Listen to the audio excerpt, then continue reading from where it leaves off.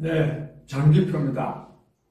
그 오늘 이 국정감사를 하는데 대검찰청 국정감사를 하는데 그 윤석열 검찰총장이 말하자면 자기가 하고 싶은 말을 상당히 그 제대로 하고 있어서 어, 저로서는 굉장히 다행스럽게 생각합니다.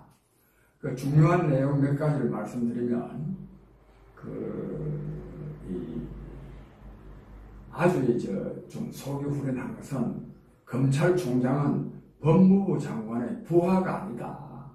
어? 뭘 자꾸만 그렇게 함부로 지시할 수 있는 것이 아니다. 그 이유를 크게 두 가지 이유로 말씀했는데 하나는 만약에 그 장관은 정치인이라 합니다. 정무직 공무원입니다. 정무직 공무원. 그 정치인에 속한다는 겁니다. 근데 검찰은 만약에 그 정치인 그 장관의 지시를 받아서 수사하고 또 기소하게 된다면 그것은 이 정치적 중립에 위배된다는 겁니다. 그래서 이 검찰총장은 그 진리계통으로 사실 또 검찰총장 자체가 또 장관급입니다. 장관급. 그래서 이 부하가 아니다. 마음대로 함부로 이렇게 시키는 게 아니다. 지시하는 게 아니다. 하는 이런 것을 그 윤철, 윤석열 총장이 말했는데 저는 아주 맞다고 생각합니다. 또, 또 다른 하나는 윤석열 총장이 수사 지휘 권한 구체적인 사건에 대해서는 검찰총장을 통해서만 할 수가 있지 직접 할 수가 없다. 즉, 이 라임 사태, 옵티머스 사태에 대해서 어, 오히려 검찰총장을 그 수사지휘에서 배제하고 법무부 장관이 직접 이렇게 하는 것은 이것 자체는 위법이다. 아, 이거를 지적했습니다. 아, 그런 점에서도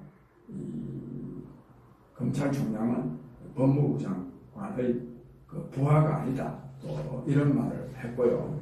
그 다음에 추미애 장관이 뭐라고 말을 하면 이저 뭐 저도 이런 말까지는 그 정치적인 의도를 뺀다면 무슨 말이냐면 옵티머스 사건 제대로 수사하지 못하고 있는 거 아니냐. 또 이 검찰이 그 사기꾼 말하자면 김봉현 씨, 예, 뭐 라인 그 사모펀드 회사의 뭐 전주라고 하는 거. 전주 돈 실질적인 물주라고 지금 구속되어 있습니다. 아, 중형이 예상되는 사람입니다. 그 사람이 말이죠. 처음에 강기정 전그 정무수석 비서관한테 돈 5천만 원 줬다 할 때는 법무부 장관이 아무 말도 안 하고 있다가 이 사람이 이거 뭐 아주 긴 편지를 써가지고 어? 검사한테 뭐 천만 원씩 적대를 했느니 수사를 제대로 안 하더라니 뭐 검사장 출신 야당 정치인 말을 해도 수사를 안 하더라니 이런 소리를 하니까 이런 소리를 하게 만들었죠 이 정권이. 특히 추미애 법무부가. 그러고 그거를 기여해가지고 검찰총장이 말이지 제대로 직무를 이행하고 있지 못하다 이래가지고 지금 수사지휘권까지 박탈했습니다. 이에 대해서 윤석열 총장이 이건 나에 대한 중상 모략이다. 내가 왜 수사를 제대로 지휘하지 않느냐. 검사장 출신 야당 정치인에 대해서도 특별히 수사를 하라. 더더욱 그 검사장 출신이기 때문에 수사를 잘 하지 않으면 제19 감사위라는 비난이 나올 수가 있기 때문에 더 철저히 수사를 했는데 뭘 내가 제대로 수사를 안 했다는 거냐. 그런데도 불구하고 수사를 제대로 지휘하지 않았다고 건 중상모략이다. 이렇게 말을 하니까 이 추미애 장관이 이걸 자기 보고 중상무략한다고 말한다고 비난을 하면서 어? 자기 그 말에 대해서 불만스럽게 생각할 것이 아니라 먼저 어? 사과부터 하라 이러니까 윤석열 총장이 점잖게 내가 중상모략이라고 한 것은 나로서는 점잖은 표현이다. 즉 주미의 당신처럼 음, 그런 상말 안 하는 거다. 내가 말을 뱉어라 그러면 중상묘력보다도 훨씬 더 심한 말로 당신을 비난할 수 있다 하는 이런 말을 했습니다. 이것도 아마 주미애 장관한테 근데 주미애 장관은 이런 거요 뭐 별로 신경 쓸 사람이 아닙니다. 아니지만 오늘 오늘 어쨌든지 이 국감장에서의 윤석열 총장의 발언은 전부 다 주미애 장관의 한 일들이 전부 다 잘못했다고 하는 것을 지적하고 있기 때문에 주미애 장관이 뭐 오늘 저녁 때든지 내일 좀 무언가 또 심한 말을 할 겁니다. 그리고 또 특히 오늘 지적한 것 중에 지난번에 인사 어, 검찰 학살이라고 이름 불려졌죠. 즉 윤석열 씨가 좀 이렇게 믿고 어, 수사를 맡긴 사람들 뭐 이른바 윤석열 사단이라고 하는데 그런 사람들 전부 다 지방으로 한직으로 아주 뭐 인정사정 볼 것 없이 자춘했습니다. 그런 문제에 대해서 정말 그런 인상은 처음 봤다. 또 그와 관련해서 팩트라 그래가지고 도대체 이제 말도 되지도 않는 마치 형식적인 절차를 갖추는 것처럼 했지만 실제로는 자기들 멋대로 했다 하는 이런 거를 소상하게 이렇게 밝혀서 지난번에 검찰 인사가 잘못되었음을 지적한 일이 있습니다. 그리고 또이 추미애 장관이요 윤석열 총장의 그 제대로 수사를 안 했다 그래가지고 뭐라고 말했냐면 이제 검찰을 향해서 뭐라고 말했냐면 콩으로 매주를 쓴다고 해도 고집들을 국민이 없을 지경이다. 어? 지 감독자, 감독자인 장관으로서 작금의 사태에 대하여 국민께 참으로 죄송하다는 말씀을 드린다. 참 기가 막힌 일입니다. 이거 제대로 수사를 못하게 한 사람이 누굽니까? 추미애 장관 자기 아닙니까? 이 문재인 정권 아닙니까? 정권. 자기네들이 전부 다 저, 저, 이성윤 시켜가지고 전부 다 보고도 못하도록 하고 대검에 일곱 명 그 간부들 중요 간부들인데 그 전부 다 어? 저 자기 사람으로 다 심어가지고 보고도 제대로 안 하게 해가 해나 놔놓고 어? 검찰이 수사 잘못한다 해가지고 국민들에게 죄송하다고 자기가 대신 뭐 사과한다 해서고 하여튼 참 또 그리고 또뭐 콩으로 매주를 쓴다 그래도 또 국민이 믿지 않을 것이다. 그 좋습니다.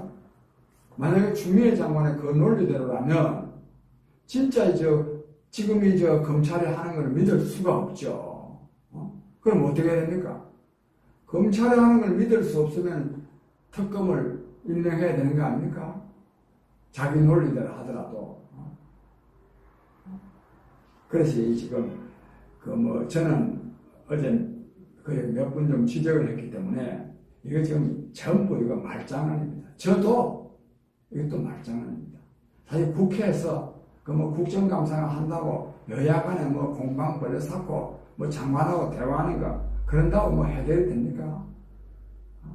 그러나 해결은 안 되지만 거기에서 현재 지금 진행되고 있는 일들이 얼마나 위법, 부당하게 이루어지고 있는지를 우리 국민들이 알 필요는 있다. 저는 이렇게 생각합니다. 그 특히 그런 말씀드렸는데 하느님 주미애 장관의 이 수사 지휘권 행사, 즉 라임 옵티머스 사건 등에서 검찰총장의 지휘권을 박탈한 것은 이거는 검찰청법을 위반한 것입니다. 이걸 또 윤석열 총장도 분명하게 밝혔더라고요. 위법이다. 위법 부당하다.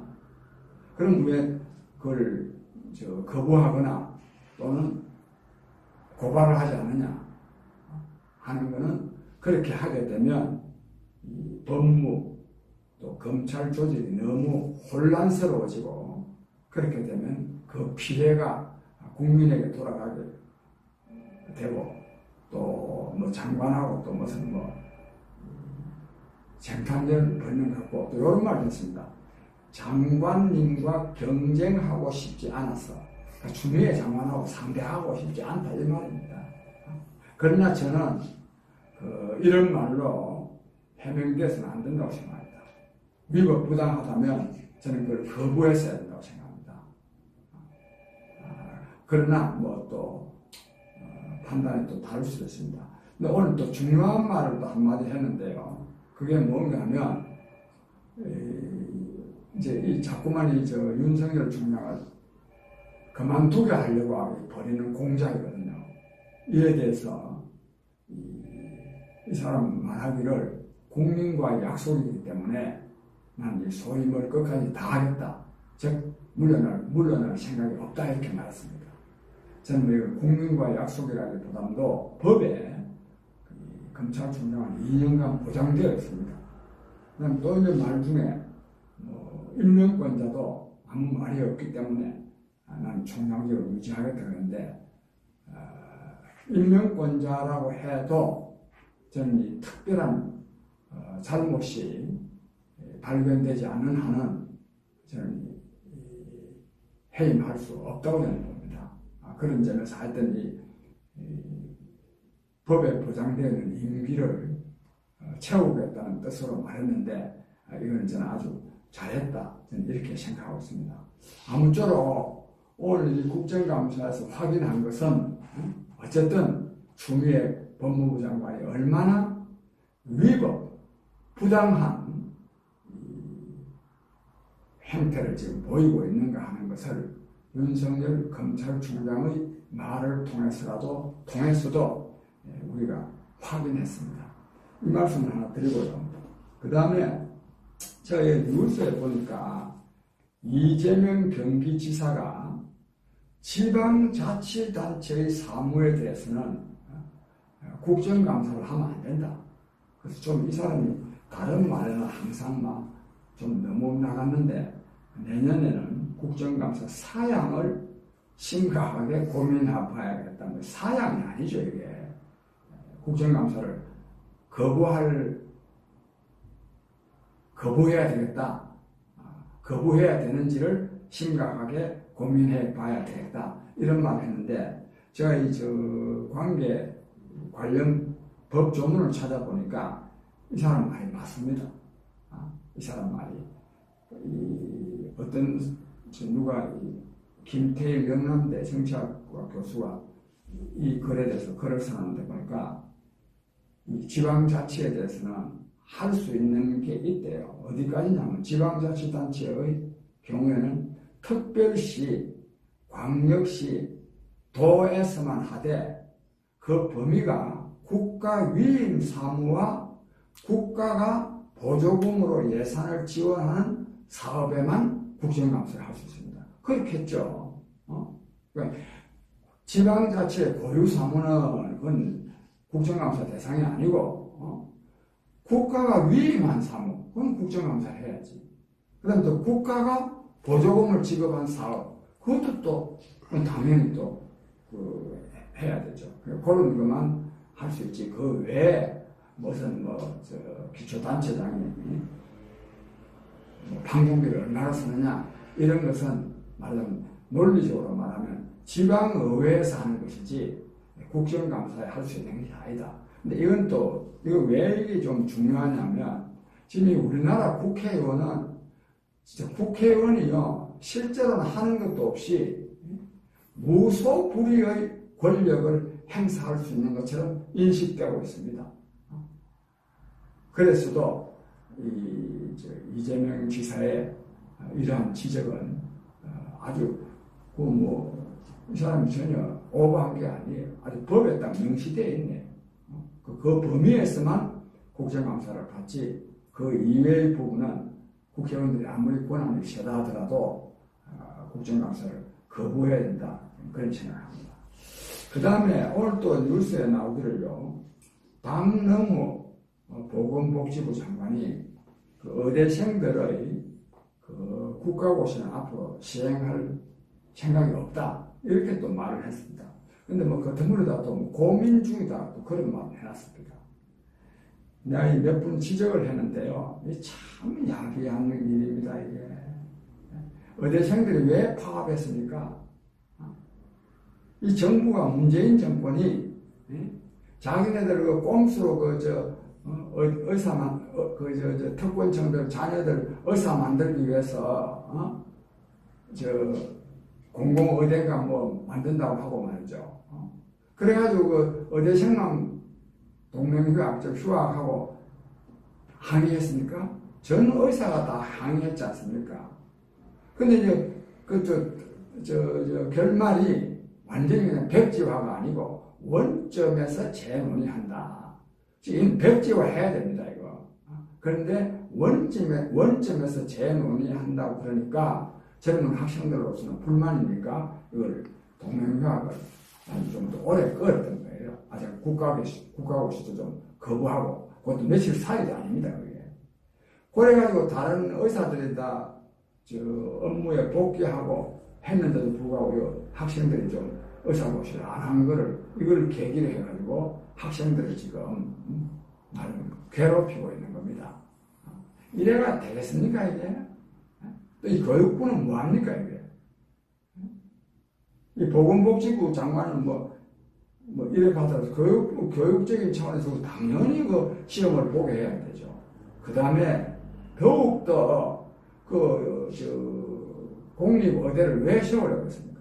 의사 모집한다고 3천명인가 뭐, 어, 1년에 300명씩 10년간 3천명 배출하기 위해서 한시적으로 공공의대 운영하려고 그랬던 거 아닙니까? 근데 이번에 지금 이한 해요, 이 의대 국가고시 시험 치는 학생이 3,000명이 넘습니다. 3,200명인가 뭐 그렇더라고요. 그 의사가 부족해서 어? 공공의대 세우겠다 한 사람들이 이 의사가 될 수 있는 길을 또 막으면 이건 또 뭡니까 이게? 여기다가 또 정말 내가 기분 나쁜 거는 어? 뭐 여론, 뭐 국민의 뜻에 따른다. 아이고, 그따위 소리 하면 되겠습니까? 뭐 어떤 정책을 수립하는데 전부 다 국민 여론 따라 합니까? 그럼 공수처는 지금 현재 이제 장관 쫓아내야 되는 거 아닙니까? 추미애가 하는 거 보면 뭐 여론조사에 똑같이 나와 있대요. 뭐 46.2, 46.2. 그 이런 이저 정부가 아, 이런 짓을 하면 안 됩니다. 이게 모든 게 다 그렇습니다. 모든 게 저는 그런 말씀드립니다만 이런 정부는 대중투쟁을 통해서 쫓겨나도록 해야 됩니다. 성경 말씀에 칼로 흥한 자는 칼로 망한다는 말이 있는데 이 촛불로 흥한 자는 촛불로 망하게 되어 있습니다. 옛날에 헤겔이라는 독일의 역사 철학자가 한 말이 있습니다. 역사적으로 중요한, 중요한 사건은 두 번 반복된다고. 한 번은 희극적으로, 다른 한 번은 비극적으로. 문재인 대통령이 박근혜 대통령의 길을 그대로 따라갈 겁니다. 저는 이런 말은 비극이 반복되지 않았으면 싶지만 이분이 이건 도저히 용납할 수가 없습니다. 너무 잘못하는 게 문제가 아닙니다. 뻔뻔스러운 게 문제입니다. 이런 정권은 빨리 끝내야 된다는 말씀을 드립니다. 감사합니다.